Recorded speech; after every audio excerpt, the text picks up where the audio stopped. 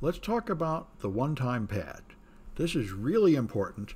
This is the perfect cryptographic system. It was invented long ago and it is very simple and in principle it is completely unbreakable.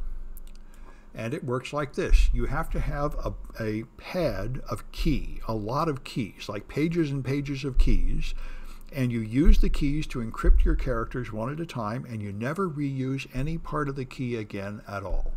So you have two identical copies of like a book full of random letters at each end and you take the one letter of key and encode one letter of message using any system you like, like XOR or the Caesar cipher, but you never reuse any part of the key and the key is random. So there is just no pattern in the encrypted text at all. There's no mathematical way to ever deduce the plain text from the ciphertext. The only possible way to break it is to somehow steal a copy of that pad. So that's a fine system. The problem is, in practice, there was a mistake made in World War II. Russia was using the one-time pad, and they didn't have enough one-time pads. So to make more of them, they put more carbon paper in the machine and made many duplicate copies of the same one-time pad and used it for more than one message. And if you use the same one-time pad for two different messages, it destroys the system. It shatters like glass and suddenly becomes extremely weak.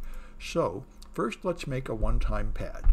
I'm going to use, instead of using random letters, I'm going to use a sentence as the key string, which is also a weakness, but it, it's good enough for what we're doing here just to see how it works. So here's my key string, unbreakable, awesome, secure, secret system. And then I'm going to encrypt a message. Notice that the message is shorter than the key string.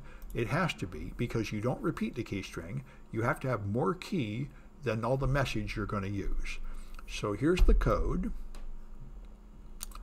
And let's make that in Python. So nano one-time pad 1.py.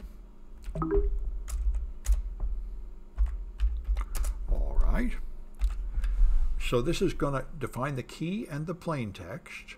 And now, I for every character in the plain text, I'm going to turn that character into an ASCII number with the ORD function, find the key byte that matches it and turn that into an ORD function, and then I'm going to use XOR to combine them and turn it back into a character. So I'll scramble the characters one by one based on the key. And let's see how that looks. Um,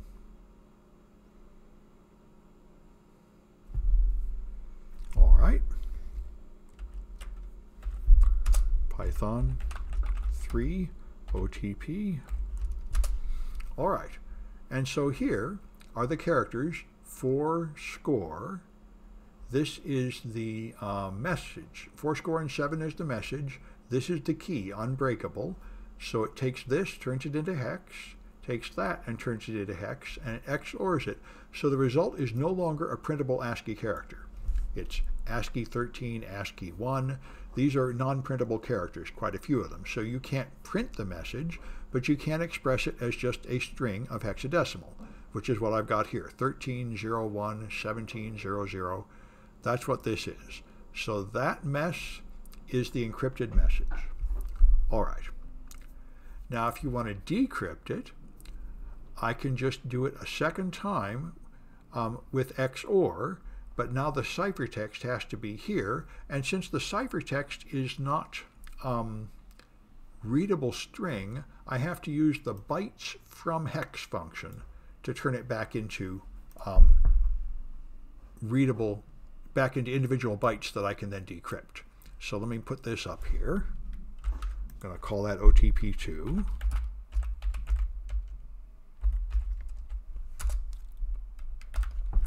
All right, so this is the ciphertext, and now I'm going to use the same operation. Every byte here is going to XOR with a byte from the key, and that should undo the encryption. Control X, Y, enter, Python 3,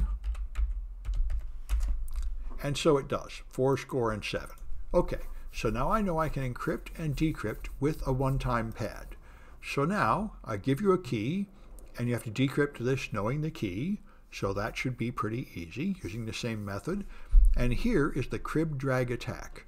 This is extremely powerful, and you can even do it by hand without a computer to some extent, although it's of course easier to do it with Python.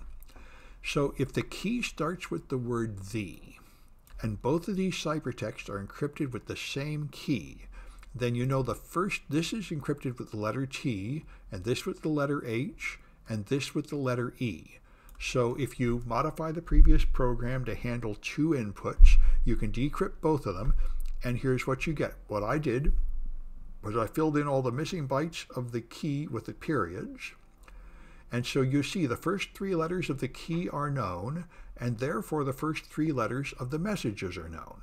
So this one starts with NEV, and this one starts with YOU.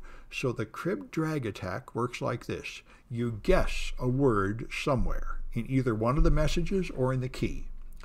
And then, assuming you know that, you decrypt the rest, and you find where you're right somewhere. You just guess a common word and try it in various places until these characters underneath are readable. And now you guess another character. This might be U space, or it might be U R. This might be starting of the word never. Looks like it probably is. So now you guess another couple letters. You guess that the next two letters here are ER, and then you calculate these and see if it's readable. And if it is, then you find any of these three lines, you guess another couple letters and fill it in, and you'll find that you're able to step forward one or two characters at a time, and it doesn't take long at all to get the whole thing. That's called the crib drag attack, and it is extremely powerful. And here, you're able to do it. You'll be able to resolve these without knowing anything about the key. And again, here's another one. Um, so it is surprising how powerful this is. And all I did to make it work was I wrote a little Python program that would let me do this interactively. It would print these three out and then say, okay, make a guess. I tell it which one of the three I'm guessing, give it the letter. It would then print them out again. And I could just uh, try guesses until I find something good, and then I had a way to just feed it back in. I wrote a sort of little game that would let me guess them interactively, uh, just with a couple of loops. You'll find out it doesn't take very much Python to do that. And that's, that was really important in World War II. So I'll stop this one.